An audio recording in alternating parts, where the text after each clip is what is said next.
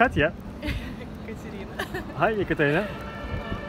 so we are walking around together today and doing some shooting for Let the Nipple Shine project.